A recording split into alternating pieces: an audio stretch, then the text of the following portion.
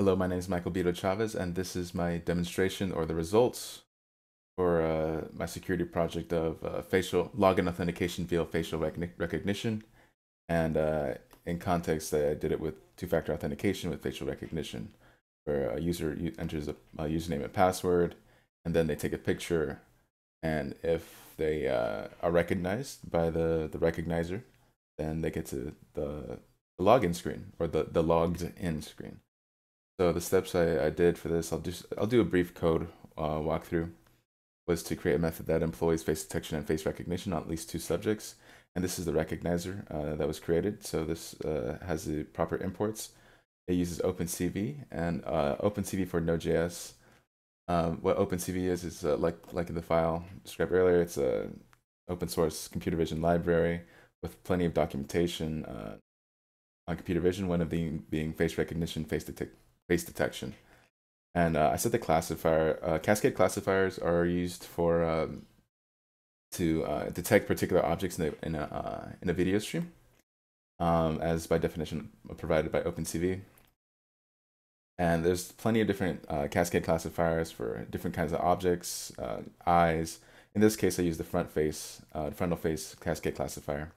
Now this method here, it detects the detects the face. This is the face detection uh, method. It detects the face within a gray image, and then it, it gets the region in that picture. Now this gets the path of the my image database, and this is my image database here. Uh, within this database, I just use pictures of Conan for testing and myself, and uh, also uh, my friend Thomas to help me uh, achieve this. Now back to the recognizer. Uh, after getting the path of all the of the files, we'd match we would map each image uh, to uh, OpenCV for reading, turn the image gray, and then resize the image. Uh, because for the recognizer to train the uh, when using a specific algorithm, all the images have to be the same size. So uh, in this case, all the target images, like here in the database, uh, includes 111. so this one, this one, this one, these will be tested to see if the recognizer can find anyone. And uh, down here is the algorithm I chose. There's different algorithms for facial recognition, as mentioned earlier. There's eigenfaces, just different mathematical representations. Eigenfaces, in here, Fisher faces, and uh, last one, local binary patterns, uh, histograms.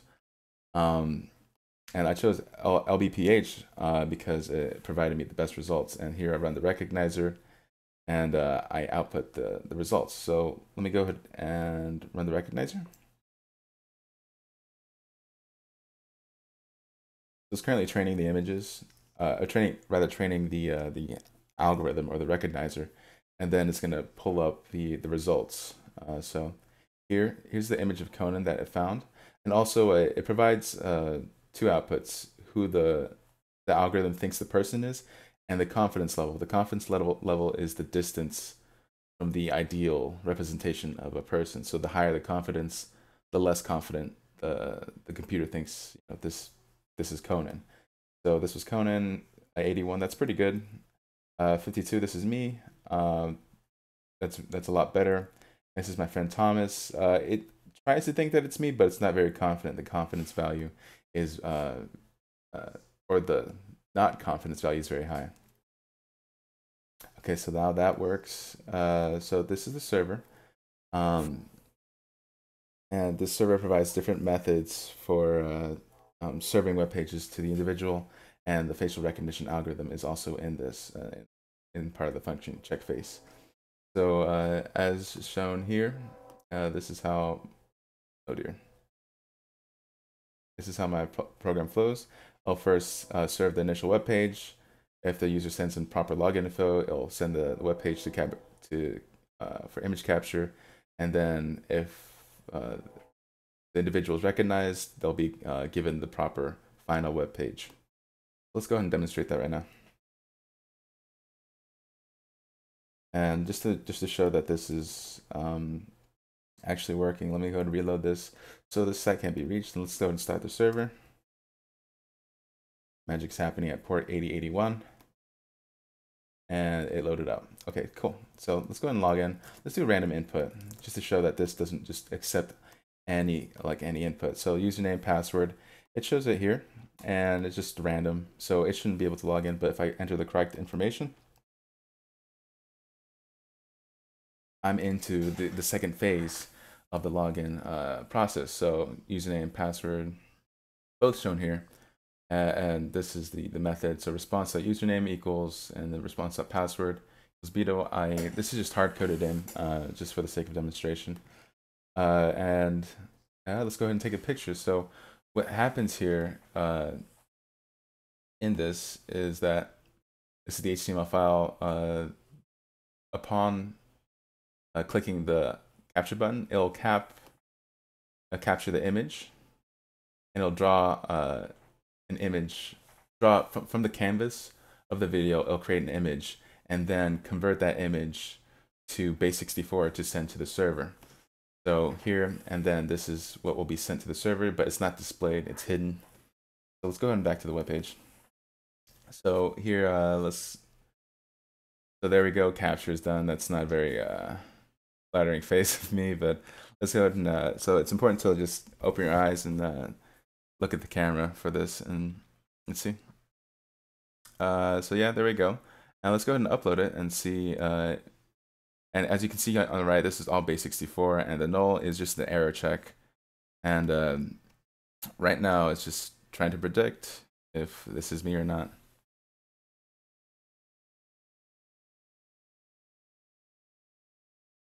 So uh, the predicted individual here is me, Michael, and the confidence distance is 72. And uh, within the upload section, I created, oh yeah, and once I got the image data uh, back from the from the client, I converted the I, I put it for demonstration, and then I converted it back from base64 to PNG, and then I passed the image to the uh, the algorithm for face detection or face recognition rather. And back to this, uh, I had a confidence value threshold. So if it was less than 90, if it was confident enough that it was me, it would finally serve me the final web page. So if I go back to here, you have logged in successfully. Thanks for stopping by. Here's my GitHub Devpost, LinkedIn. Um, so let's go ahead and try to do a demonstration where it does not recognize me. So let's go ahead and back to the start.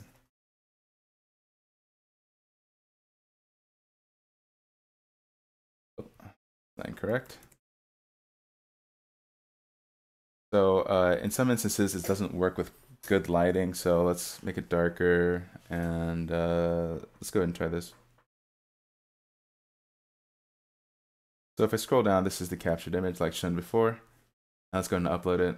This is the uh, base64 uh, representation of the image, and let's go ahead and see uh, the output here in a minute. It takes a moment sometimes, which is unfortunate.